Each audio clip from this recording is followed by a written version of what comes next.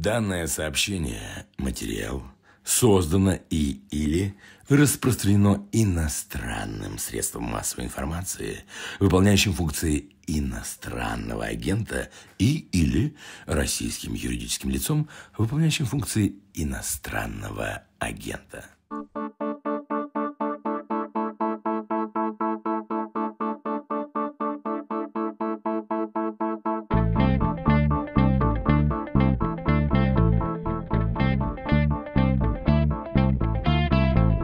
29 сентября в Москве суд арестовал основателя и генерального директора IT-компании Group IB Илью Сачкова. Его компания много лет занимается кибербезопасностью и сотрудничает со спецслужбами разных стран. За что могли задержать Сачкова? Как все это может быть связано с хакерскими атаками на США? И почему в России, видимо, есть свои полезные хакеры, а есть вредные, с которыми можно бороться? Но тот, кто борется, не находясь внутри спецслужб, может ненароком задеть не того и поплатиться за это. Сейчас обсудим, но сначала небольшой перерыв, после которого вернемся. Привет! Это подкаст «Человек имеет право» и его ведущие, журналисты «Радио Свобода» Марьяна Тарачешникова и Наталья Джампаладова. В подкасте мы обсуждаем, например, что делать, если по документам человека признали мертвым, а он жив. Можно ли сесть в тюрьму за ремонт собственной бытовой техники и многое другое. Мы выясняем, как устроен окружающий нас мир прав и обязанностей и почему он устроен именно так. Присоединяйтесь к нам каждый вторник и слушайте в привычном агрегаторе подкастов.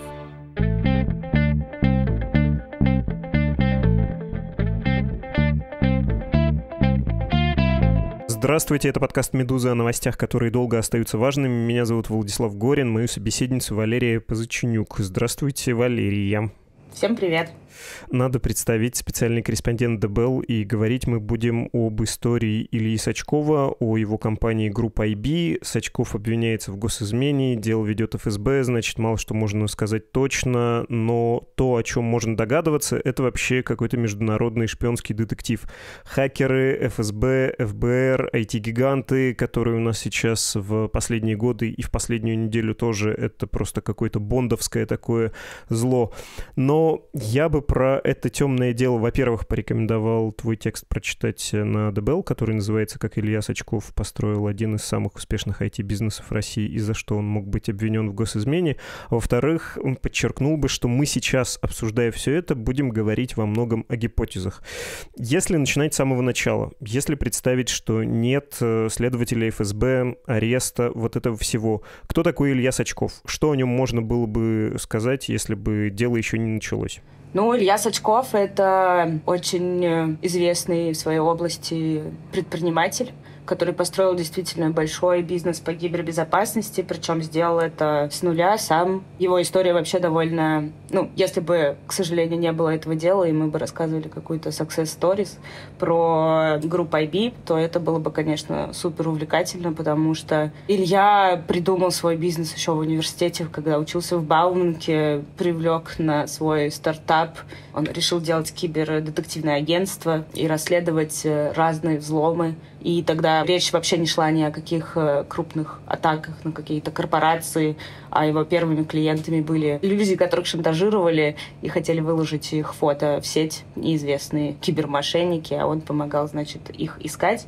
Вот, он, э, чтобы сделать эту компанию, попросил у брата 5000 долларов. Слава богу, они у него были. Вот, собрал туда своих однокурсников и одноклассников. И команда из 12 студентов, значит, занималась расследованиями. И тогда это был еще не очень развитый рынок. Тогда практически всеми расследованиями в интернете э, занимались спецслужбы. Вот а они начали вот строить новый рынок, делать новый бизнес. И интересно, да, что они начинали именно вот с таких вот маленьких расследований, и только потом доросли уже до серьезного софта по предотвращению угроз и разных там подписочных сервисов, которые помогают компаниям отслеживать э, возможные атаки, предотвращать их. И, кстати, вот в этом направлении они очень сильны. То есть этот их сервис признан одним там, из самых лучших в мире, вообще самых продвинутых технологически.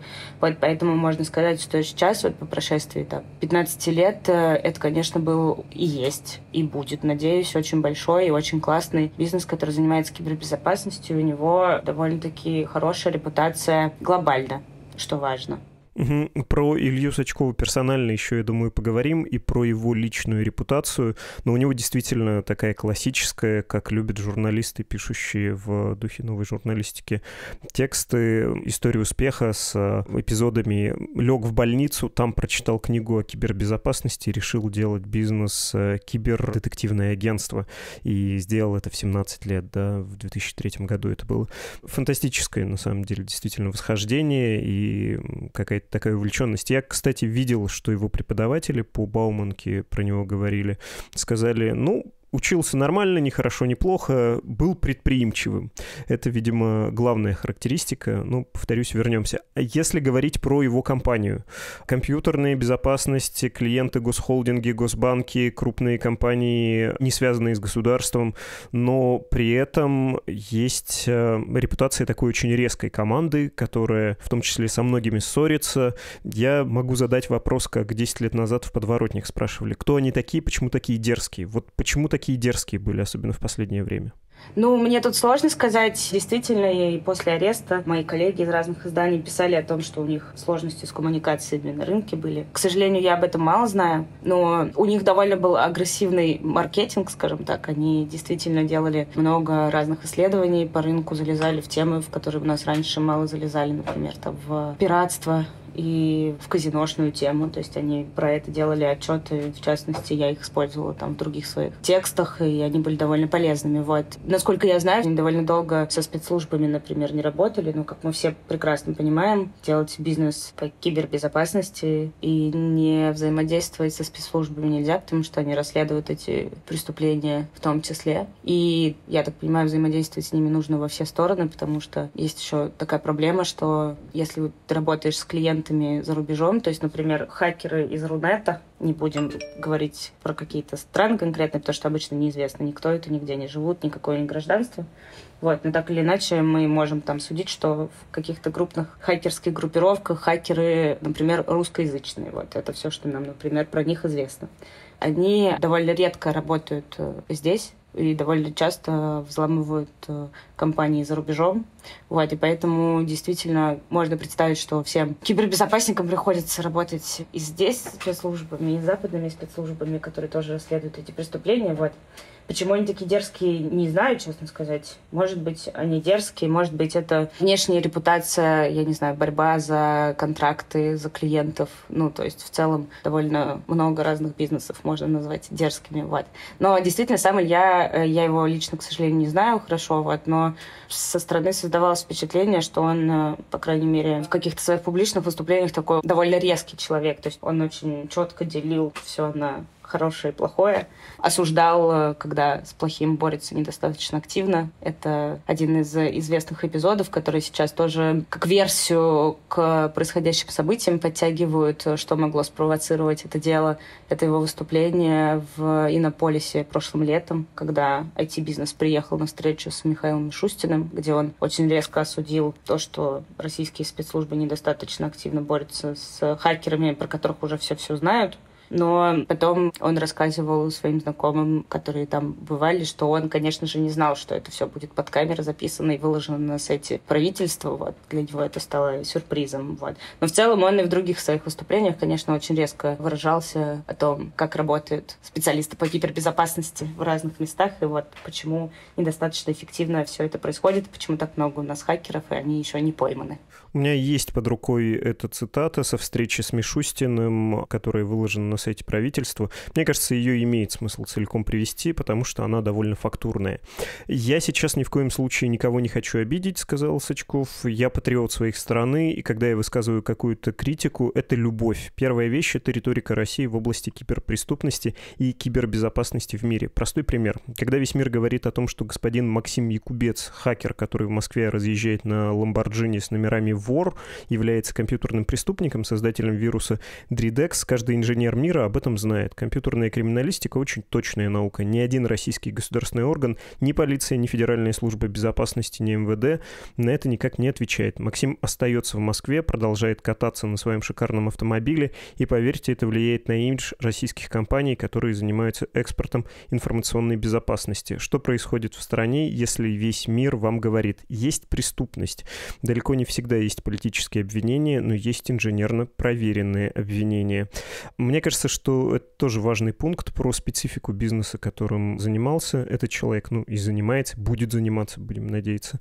Ну, то есть, когда ты занимаешься кибербезопасностью, ты, в принципе, по краю ходишь. С одной стороны, ты не можешь не сотрудничать со спецслужбами, в том случае, если у тебя разные рынки со спецслужбами разных стран, про дело, да, что-то такое говорится, про разведки различные. А, во-вторых, ты, конечно, имеешь дело с высококвалифицированными преступниками, которые сами, на самом деле, айтишники. Хакеры — это же не какие-то отдельные, да, чаще всего специалисты. Они могут вполне работать в системной большой компании. И, с другой стороны, ты можешь наткнуться на агентов э, спецслужб своей страны, не своей страны. Кого-то поймал, а оказывается не тех.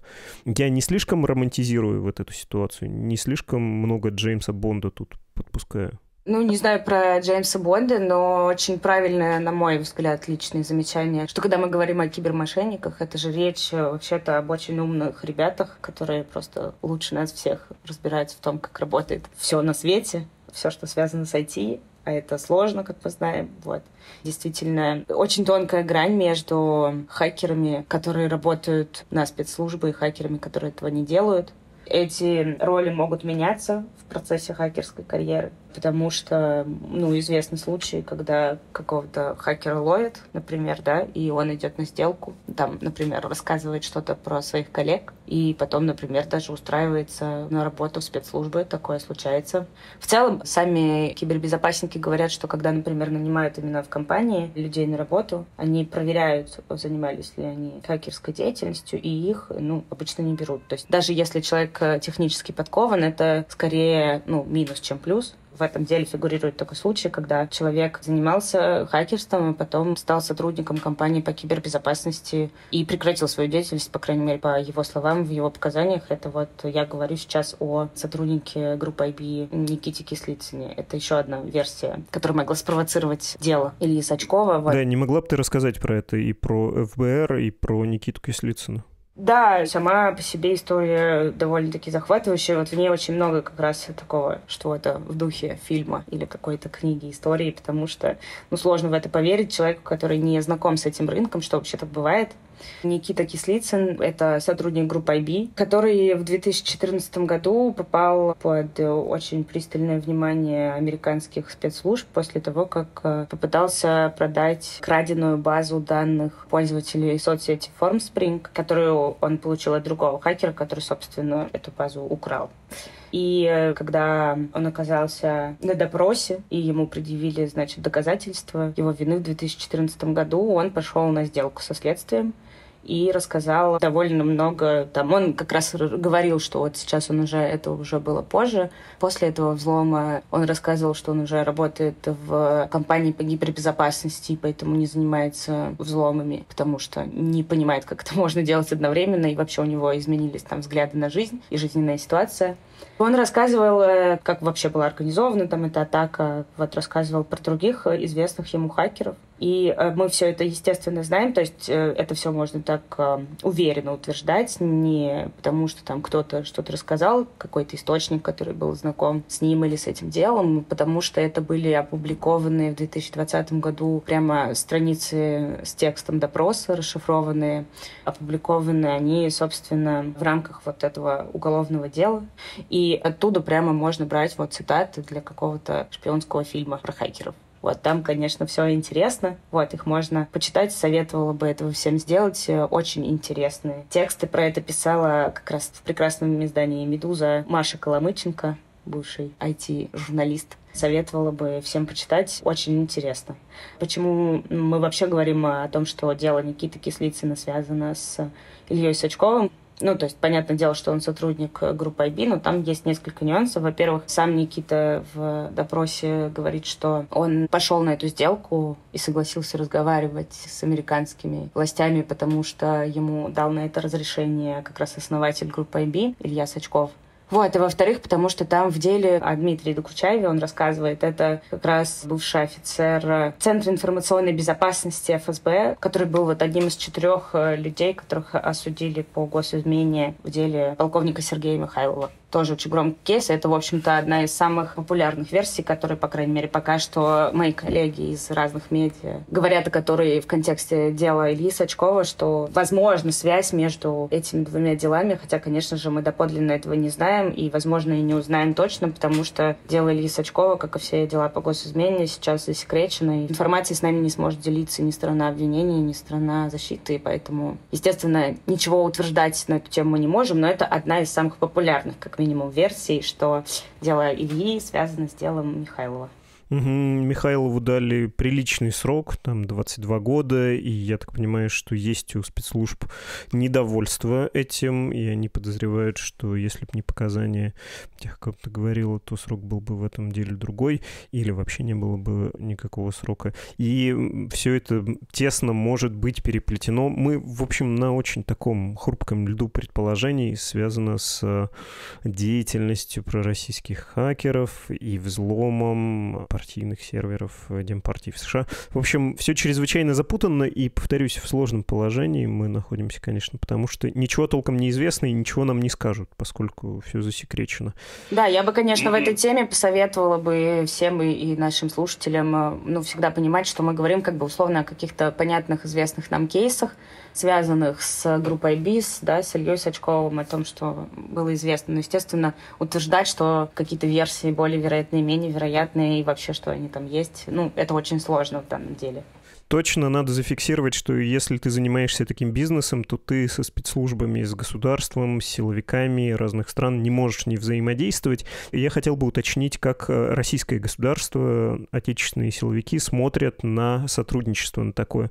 Можно ли сказать, что это довольно черно-белые представления, что должны быть такие суверенные программисты вместе с суверенным интернетом, некоторая лояльность государству. А кто так не думает, э, это попахивает госизменой, ну и, собственно, может закончиться таким обвинением. Вот лаборатория Касперского, говорю я, опять же, чисто гипотетически, ее обвинили в США в пользу России, рынок американский для лабораторий закрыт, ну и, значит, они как бы свои, это нормальные парни. А вот когда выходит э, такой какой-то резкий чувак, который перед премьером говорит про то, что у нас не раскрываются преступления, непонятно, почему хакер по Москве ездит, это что-то не то. Вот эти все слова про глобальную конкуренцию, мировой рынок, про то, что IT айтишники вне политики, офис в Сингапуре, опять же. Это все двойная, тройная лояльность, и он заслуживает наказания. Если мы найдем повод, мы его посадим. Можно так сказать, что вот есть э, такая граница, что хотелось бы провести ее силовым структурам в России? Ну, сложно мне, конечно, ответить на этот вопрос. Я довольно плохо себе представляю, что думают, чем руководствуются там наши спецслужбы, западные, тем более. Поэтому здесь можно сказать одно, что борьба с кибермошенничеством, также, я не знаю, как борьба с международными, наверное, наркокартелями. Это такие сложные, глобальные должны быть спецоперации, которые очень сложно выполнять на одной стороне, но конкретно там у российских и американских спецслужб, насколько я помню, я могу ошибаться, несколько лет последних они мало очень взаимодействуют на эту тему, если вообще не работают. Вот. Поэтому, конечно, быть в этот момент компанией, которая работает в Москве, продает свои услуги, там, ФСБ, параллельно имеет офис в Сингапуре и открыто заявляет о том, что работает с Интерполом, с Европолом. Там. Ну, это не преступление, естественно. Это не запрещено, и это само по себе не является госизменой. Но, естественно, это очень сложная, шаткая ситуация. То есть мне известны бизнесмены, разные инвесторы, которые просто инвестируют в совершенно разные рынки, очень перспективные. И вот они все в один голос, хотя и признают, что кибербезопасность — это хороший бизнес, но там инвестировать в него всерьез в России там никто не готов, потому что у этой траектории есть, очевидно, ну, не потолок, но какие-то, по крайней мере, преграды, потому что действительно, если ты хочешь быть очень мощным игроком, ты не можешь работать только в России, это невозможно, потому что, как вот я уже упоминала, да, есть такой вот момент, что русские хакеры, они не гадят там, где едят. Но они очень мало действительно признают специалисты, очень мало взламывают в России, очень много взламывают не в России, в той же Америке, например. Естественно, когда ты работаешь с какой-то глобальной корпорацией, решаешь эту проблему, тебе необходимо работать и здесь, и там. Поэтому понятна сама идея глобализации вот этого бизнеса, но, конечно, это очень повышает твои риски. И я не знаю, можно ли связать это дело с этой проблемой, но сама по себе проблема, вне зависимости от этого дела, она есть, естественно. И очень э, там жаль, что тот же бизнес-лаборатория Касперского да, остался без такого перспективного большого для себя рынка, с одной стороны. Да. Очень жаль, что российские компании, потому что у нас, очевидно, есть очень большая экспертиза в этом, то есть это у нас сильный бизнес кибербезопасности, там это наш сильный бизнес. Мы страна с хорошим IT-образованием, это все, конечно, уже много раз проговорено, но это, безусловно, так. У нас очень много классных специалистов, у нас работает не так дорого, как много где, и в целом у нас есть большой-большой задел для того, чтобы строить прямо глобальный сильный бизнес в этом. Но, к сожалению, кибербезопасность, она, конечно, в отрыве от политики вообще не существует. Хотя преступления существуют, и они интернациональные, вот. Но очень тяжело, уверена, всем ребятам на этом рынке работать. Очень это жаль. Понятно. Мешают неформальные правила, и в том числе... Ох, господи, как же это деликатно-то сказать... Короче, есть плохие хакеры, а есть наши хакеры. И не надо случайно взять наших, иначе тебе тоже будет плохо. Все так, действительно, вот э, еще конкретно, когда строят сейчас разные специалисты, участники рынка теории по поводу этого дела, дела Ильи там высказывают разные версии, то есть не только дело Михайлова, но и другие разные дела. Например, коллеги мои из издания Forbes писали со ссылкой на свои источники, да, что это может быть связано с задержанием владельца компании М13. Это тоже эти компании, которые занимаются медийным мониторингом в том числе. Вот, о том, что, значит, его задержали в Швейцарии, потому что на него группа IB дала такую информацию. Но проблема в том, что бизнес группы IB и подобных компаний, он как раз строится на том, что они о хакерах рассказывают информацию своим клиентам, раскрывают, да. И здесь есть очень большая проблема в том, что ты можешь даже не знать о том, что распространяешь какую-то информацию, которую нельзя. Ну, то есть есть просто хакер, он участвовал в какой-то атаке, например, или передавал кому-то какую-то информацию, там тебе как расследовательской компании это известно, ты даешь им информацию, а что там оказалось внутри этой информации, была ли там гостайна, тебе неизвестно, может быть. Ну, то есть мы не знаем это конкретных кейсов, но очевидно, что это возможно. И потом э, окажется, что ты рассказал то, что не должен был про какого-то конкретного хакера или какую-то конкретную атаку, потому что там за ней стояли спецслужбы или как-то это было связано, или были какие-то, я не знаю, косвенные данные в этой информации, которую ты передал своим клиентам на Западе. Вот. Но действительно очень много рисков в этой работе, и поэтому ты можешь даже точно не знать, что именно там произошло. Вот. Но есть такой нюанс, что как бы когда говорят, что дело о госизмене возбуждено, все-таки обычно на рынке, по крайней мере, так считают, что это не дело, которое возбуждается там из одного высказывания, условно, в Иннополисе или что-нибудь такое. Это все-таки там довольно большая идет подготовительная работа. То есть это венец очень долгого процесса расследовательского сказать о том, с чего все началось, на что именно впервые обратили внимание, или что послужило началом вообще интереса, то есть там конфликтность или помогал, не помогал, кому-то что-то передавал. То есть мы не можем, ну вот, но, скорее всего, это дело, конечно, не вчера возникло, оно долго разрабатывалось, поэтому может быть связано действительно с более ранними делами какими-то, которые касались группы IB. Да, в затруднительном положении, раз третий скажу это, говоря на эту тему, мы находимся, потому что это все напоминает э, финал фильма после прочтения «Жечь», когда руководитель ЦРУ и его подчиненные сидят и пытаются понять, что же за чертовщина произошла, где они ошиблись, и они приходят к выводу, что они вроде чему-то научились, но непонятно чему, и э, такого больше не надо делать, а что не делать, непонятно.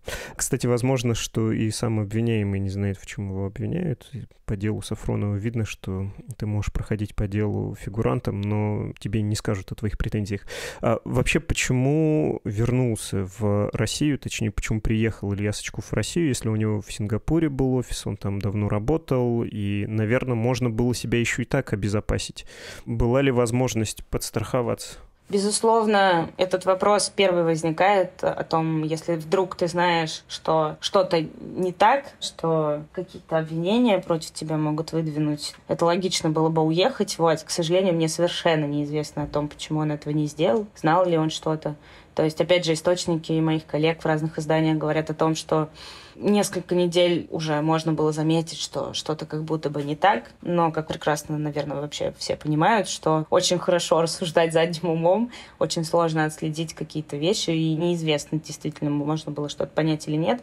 Ну, то есть я предполагаю, абсолютно вообще ни на чем не основанное мое личное предположение, что он, наверное, просто не знал и работал себя как работал много лет уже, очень давно компания работает, то есть они выработали свою бизнес-модель и существуют вот именно в таком формате. И почему он не уехал, я не знаю. Может быть, не хотел. Неизвестно совершенно ничего об этом мне, к сожалению. Неизвестно, но интересно. Это была Валерия Позаченюк, специальный корреспондент издания «Дебел».